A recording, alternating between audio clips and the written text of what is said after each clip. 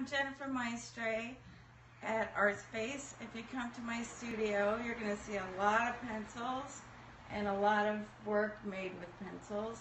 And you're also going to see a lot of pointy things. And you'll probably see some of my new experimental work, working with pencil shavings and uh, crin, which is over here, and epoxy. You'll get to see the famous pig toy. And if you want, you can walk on nails.